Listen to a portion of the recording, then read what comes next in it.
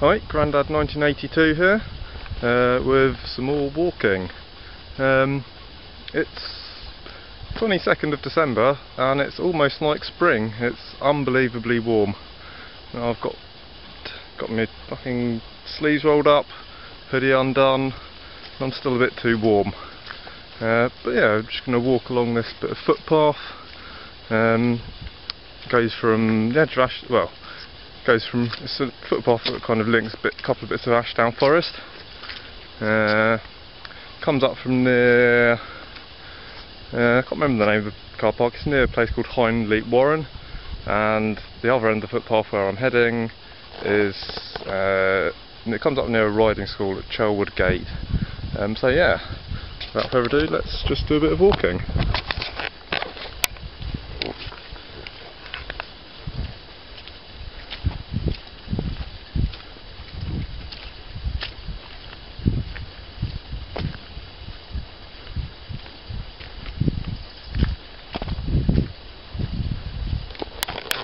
Bit of glare from the sun there, see if I can shade it out.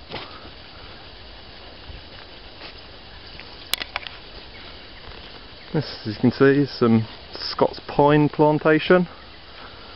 Uh, I guess it's mainly the wood is probably used in wood uh, for pulp, for paper making maybe. I can't imagine it's much good for anything else.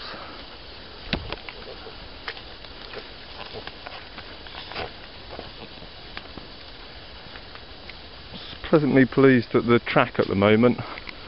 About three years back, as you can see, some forestry. See, forest, forestry operations. Came along with a big machine and churned the fuck out of this path. Uh, maybe it's further up, I can't remember. But so far I'm pleasantly pleased. Before it was almost impassable. I'm wondering if they filled it in along the edges where the kind of foot, foot and a half deep tyre tracks were left.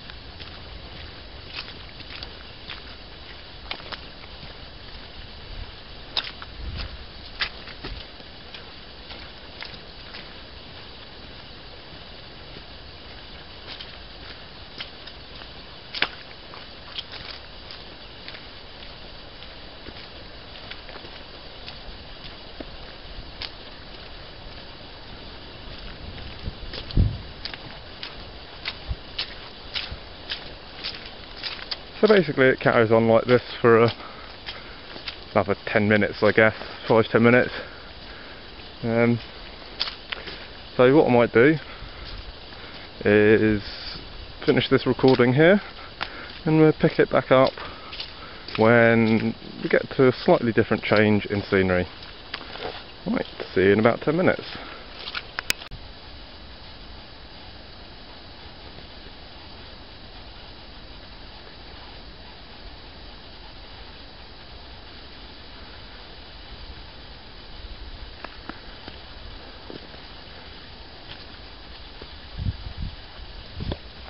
So, it took, it took about five minutes, not ten minutes. Uh, yeah, so this section path is complete, and we'll just walk on a bit and see what we find.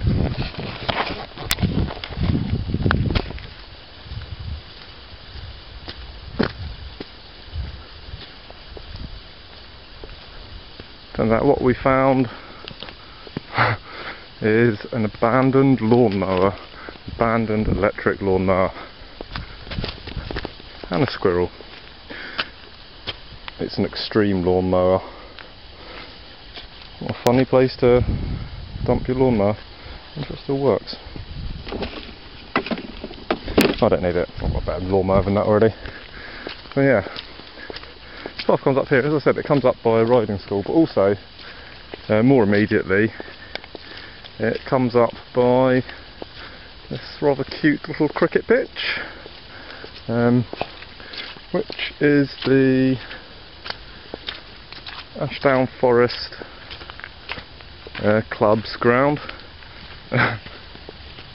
See, the outfield isn't necessarily uh, the greatest quality. Have a little zoom in on the clubhouse. Yeah, a little cricket pitch. And the riding school is kind of down this way, maybe a little bit off to the left. Uh, we head towards the road.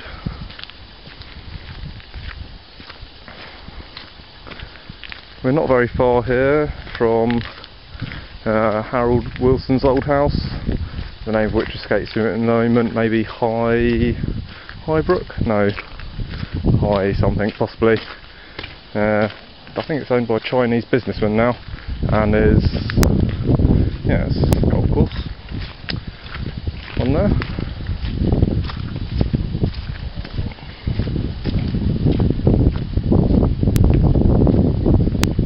Some taxi action.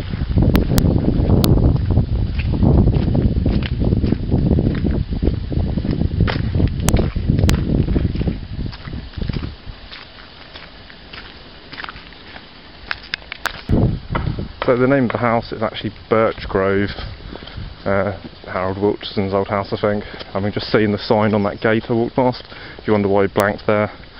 No random members of the public particularly like being filmed by a strange man walking around the woods.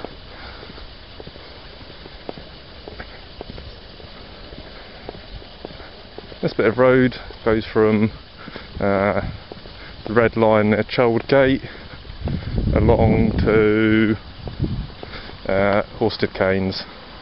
Here comes a car, so I'll, get- I'll just get to the side. A bit more than I already am.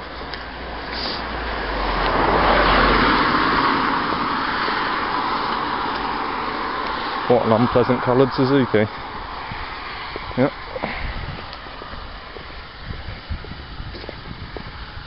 We're not going to walk too far down this bit of road. Just down to probably can't see it from this bit of film, but there's a footpath sign about 15 20 metres in front of us.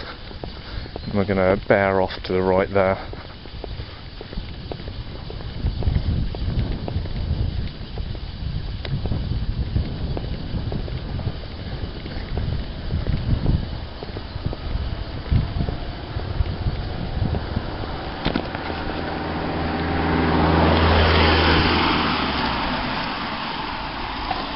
We're going to go down here, across the road. So you can't necessarily see it very well. Let's see if I can zoom in. That there is something called like the West Weald Zionist Centre or something.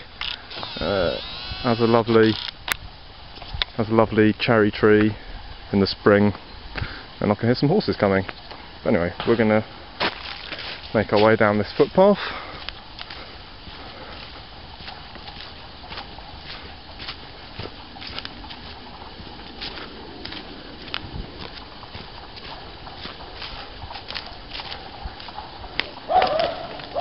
Try not to trip over some leaves, I mean sticks.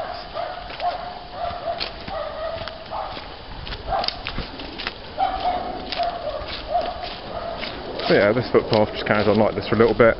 And again, I will just stop recording here, and then we'll come back to it when something a bit more interesting happens. See you in a moment. So I just realised uh, I hadn't pressed play or I hadn't pressed record so the last couple of minutes I'm just going to describe. So after a couple of minutes from where I left the last recording come to a footpath sign. You can either go left or straight on. Uh, left takes you to some splashes at Birch Grove I think. Not 100% sure where it comes out. Straight on will come down what actually is quite a fairly steep slope. Um, and there's on this side of the slope, there's this old boundary marking ditch and wall. It's not really a wall. Some nice old beech trees on it. So yeah, you want to come down the steep slope and it's a bit slippery and carry on.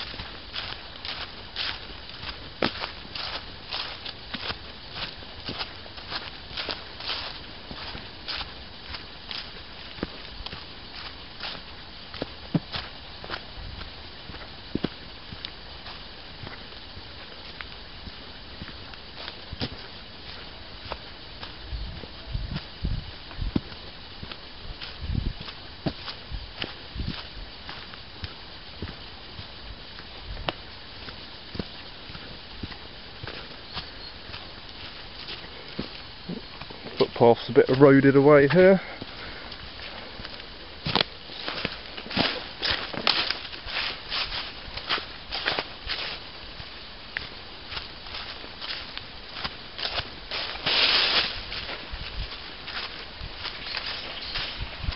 So this stream, uh, you can just about see, see that slabs of sandstone there.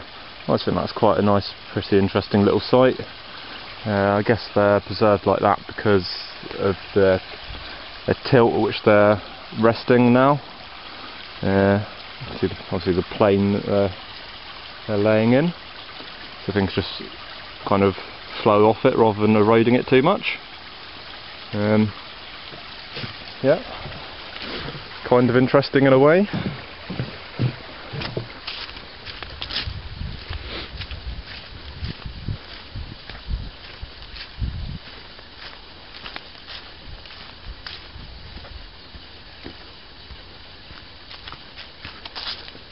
Again, this path just winds on, kind of following this the stream, find stream, which I'll just zoom in on, and kind of just make it out there. And it follows this along for a bit. And so, yeah, again, I'll be back in a moment.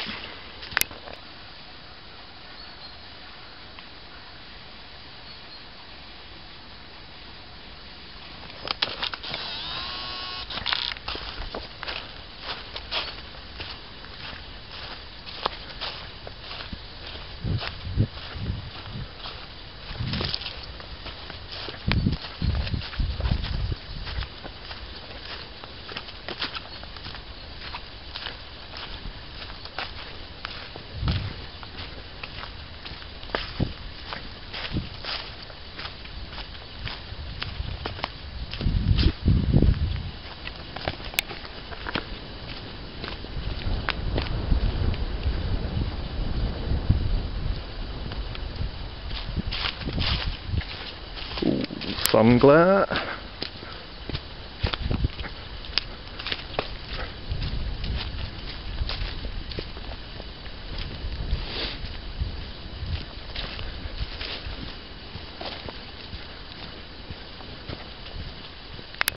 So this little willow, it's fallen across the path. It's not really obstructing it, you can walk round. Avoiding the slippery stones on this stream. It's not really a stream,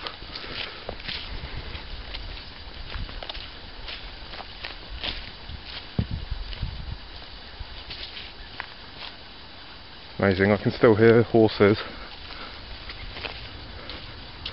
Pretty sure they can't be the same ones though. Well, they can't be.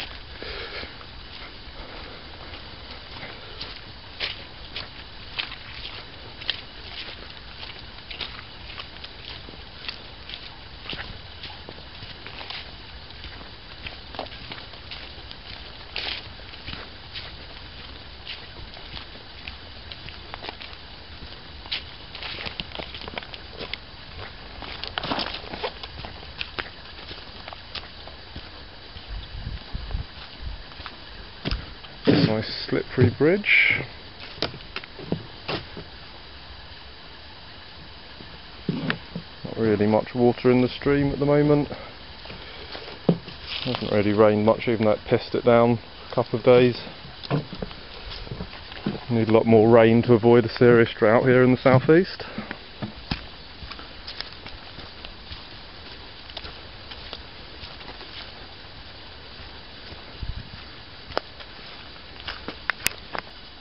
So we've come to a branching of the ways, it doesn't really matter which way you go, uh, they're all going to end up in the same place. We're going to take this way.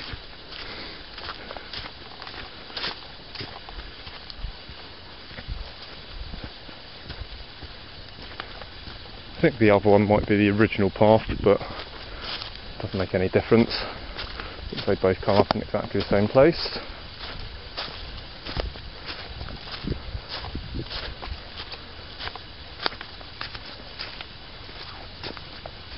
Which is on this drive.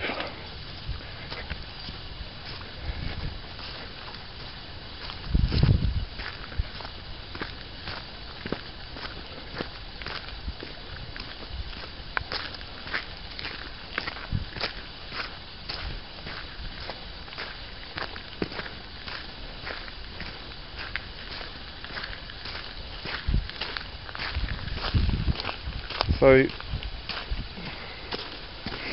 uh, the rest of the walk goes up this hill. If you want to go to the splashes, they're about a minute or two down the road in this direction. Actually, maybe I'll just go down there, show you what the splash looks like, and then come back up. It's only about a minute down the road to the left.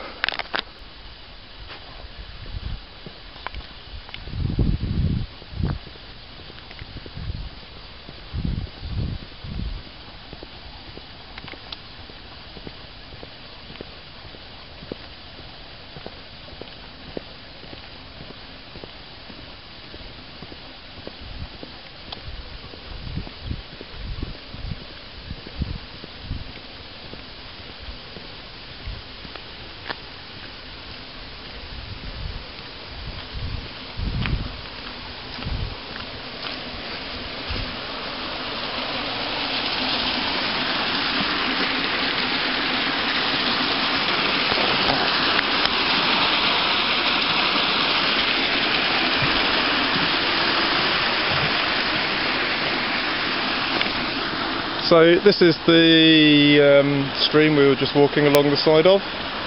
Um, yeah, this is the splash. The, there's another one a bit further around the corner where the stream crosses the road. So we'll go back up to where I just was and we'll carry on up the hill. So we're back where I was just before we went down to the splash. As you can see, that's that driveway. And here we are going up a fairly steep hill on the road. Um, can be a right bastard this in the winter. Yeah, it's frozen over.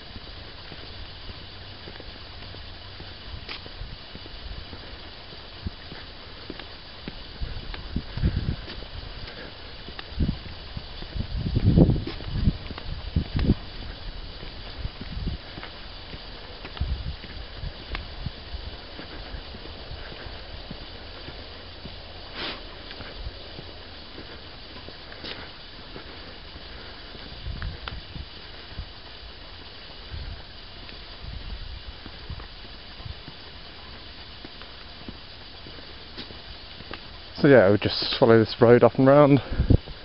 Uh, and I will rejoin you when we get to the next turning. So just walked up the road a little way. Got these lovely cottages. Nicely cut bit of hedge up there. And we come up here. When we get to those first cottages, this footpath here on our left. We're going to go down. If we carried on following this road all the way up, uh, it would come to the start of the footpath where I started this video. Probably should have started filming from the beginning, but it didn't occur to me until I'd already started. Never mind. Yeah, we're going to go down here.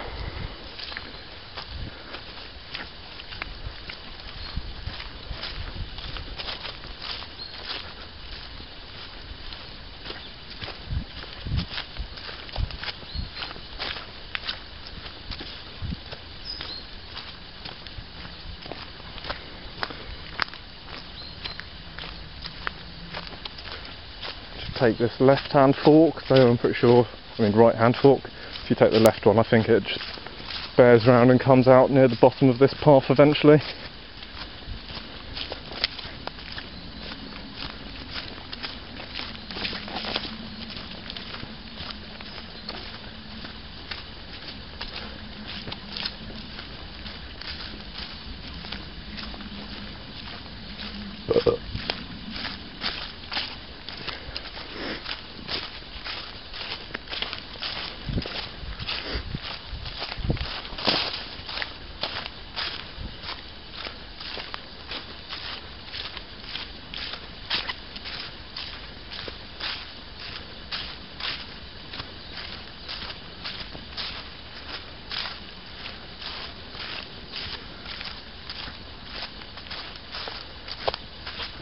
I'm kind of running low on memory on my camera. Only using my digital compact. I haven't got a video camera or anything, hence the atrocious quality of the sound and vision. Um, so I'm just going to stop recording again and I'll pick it up uh, when we get to the bottom of this little bit of valley here where the footpath is taking us.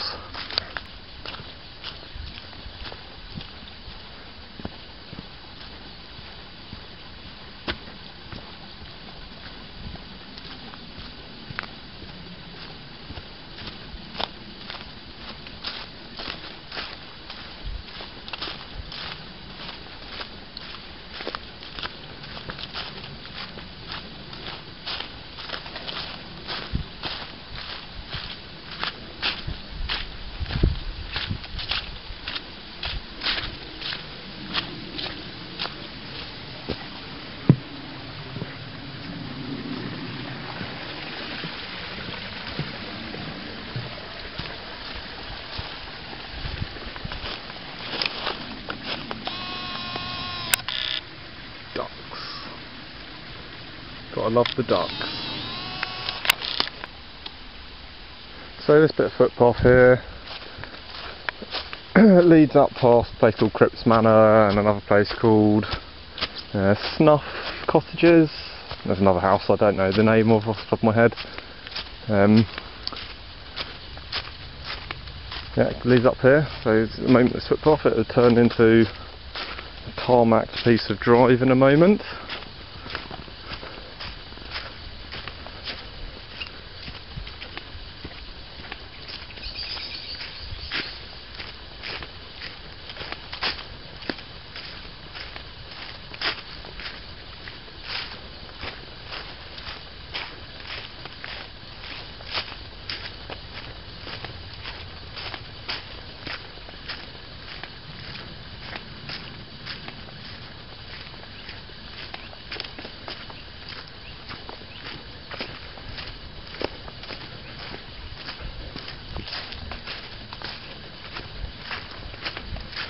yeah, I've only got three minutes, three and a half minutes left of recording time, so we'll pick this up again uh, shortly. Here we are, this is on this side where you're looking now. That is kind of like the forest proper, or more like a proper bit of the forest I like to think. Uh,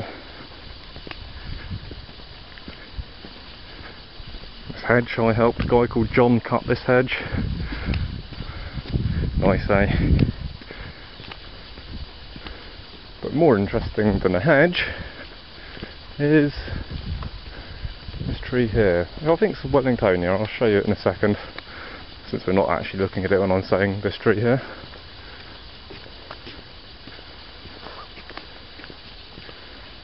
It's this tree here. Might not think it looks particularly interesting.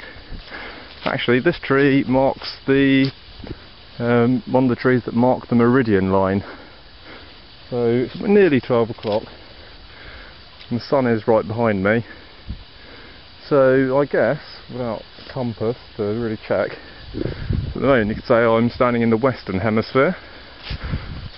So I'm just on the west side of the tree. And uh, come over here, I'm in the eastern hemisphere.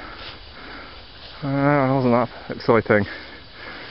Don't tell, never say I don't do anything exciting. So yeah, this track just comes up here, joins another drive, and then we will end the recording very soon. we've only got two minutes. I'm nearly home. So we'll just carry on for a moment.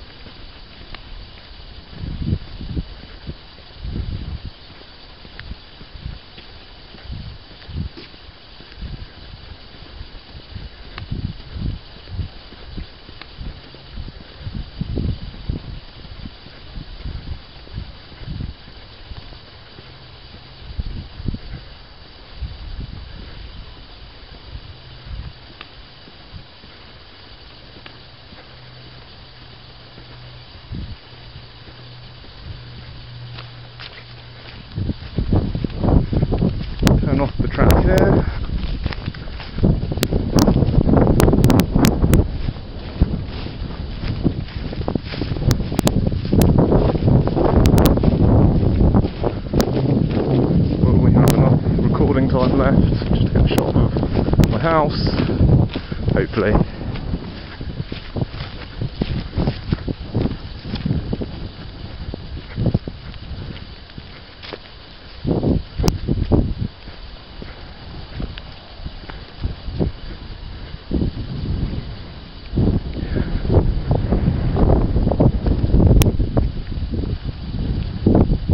Just going to pause until I get in position so don't run out of time. So that's my house, I should say my parents' house. And if we just zoom, we'll be able to see beautiful view down the valley towards across the Weald and towards the South Downs. Yeah, so 10 seconds left. Hope you enjoyed that. Merry Christmas.